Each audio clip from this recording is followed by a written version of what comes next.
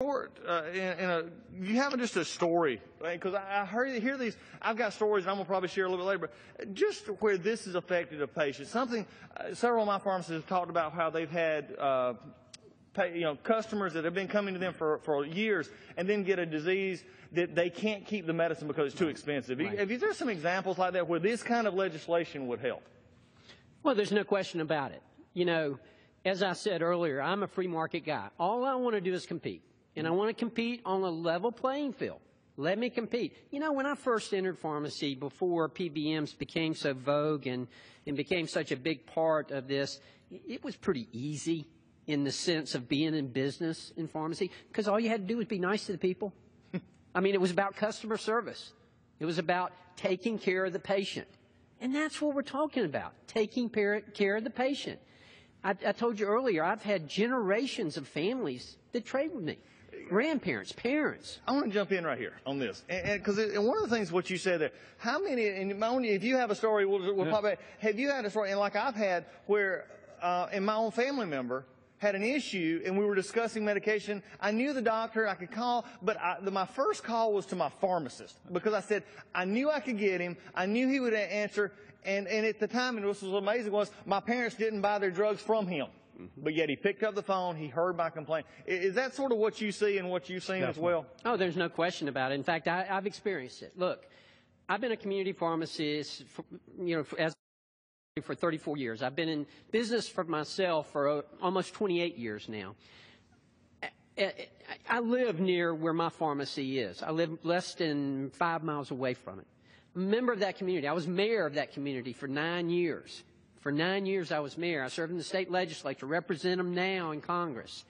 And you know, I've gotten calls in the middle of the night. And, and what's interesting and, and what I, I, has been very rewarding for me professionally is that when I ran for office and I would be knocking on doors and I'd introduce myself, I know you.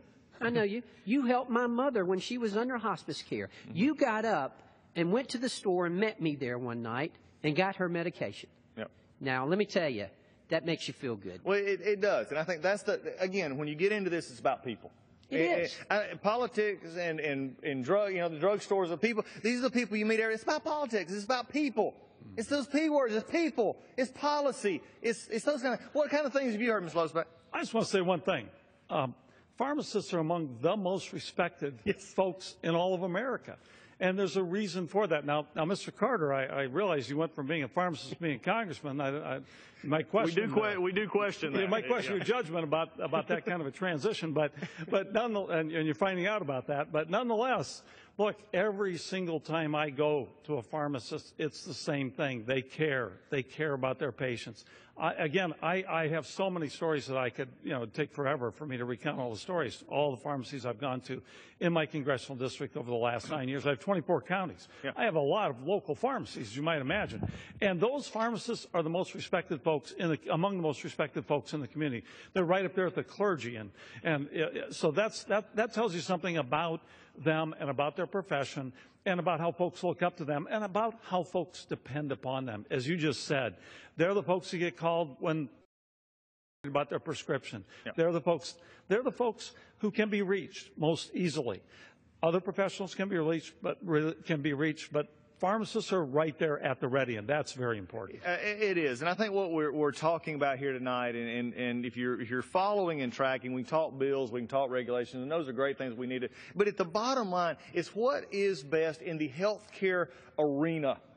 From, right. from the whole perspective, you did a great job, Representative Carter, about talking about the doctor and, the, and all the different agents coming in together. But at the bottom of the line, I'll never forget growing up the story. You know, it, for me, it was when you got to the pharmacist, you were, you were getting better. One, I had gotten through the doctor's office, I'd gotten my shot or I gotten whatever, but I got to the pharmacist, just give me some medicine.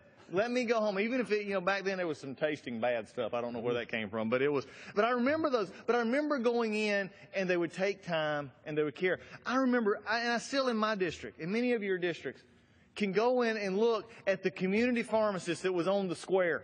Uh-huh. A lot of them had lunch counters. A lot of them had, you know, other things, you know, that they all sold cards and trinkets. What is amazing to me today is I do not want to see through consolidation and corporate work that is a system that has a fingerprint on the scale where government has basically allowed this to happen to start taking away the centerpieces of American squares.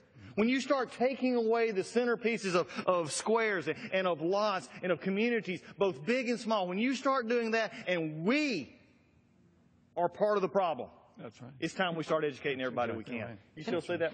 I, I do see that, and I want to, excuse me, I want to mention just, just two things. First of all, a- a- as an American taxpayer, you can imagine me being in business and having what we, what we call taxation without participation. Here we have Medicare Part D plans that are paid for and supplemented through the government that I pay taxes to. But my business is not allowed to participate. Mm-hmm. I'm being taxed, I'm paying my taxes, doing what I'm supposed to do. It's being used for a plan that excludes my business. How fair is that? I'm not asking for anything special. All I'm asking for is an even playing field. Another thing that I want to mention is that I have intentionally not mentioned the names of PBMs. There are some good PBMs.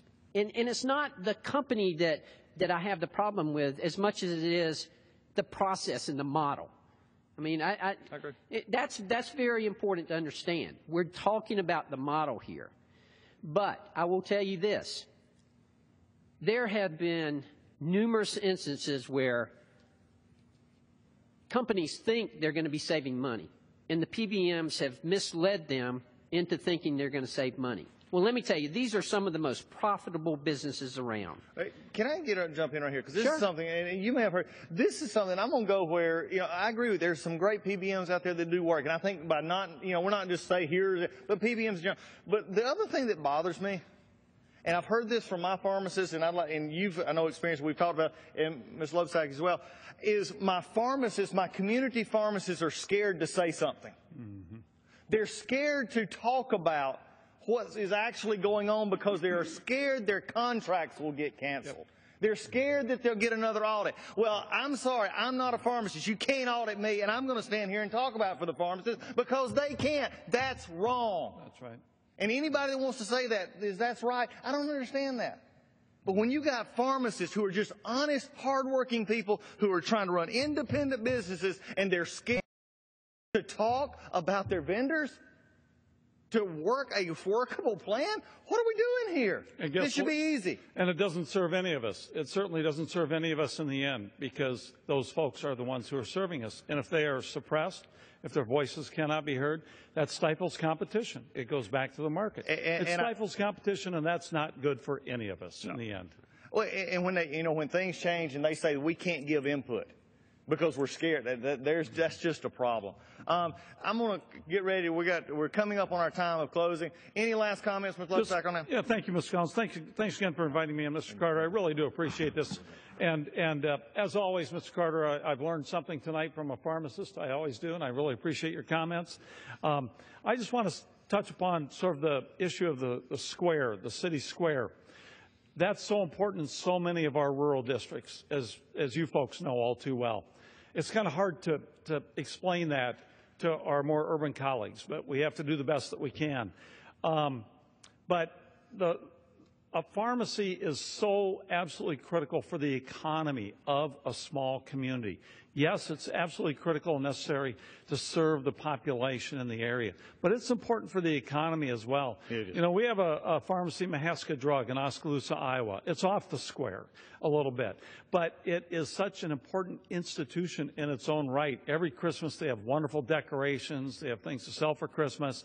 I mean, people come to depend upon them to do the kinds of things they've done, provide not just the pharmacy services, but other things as well.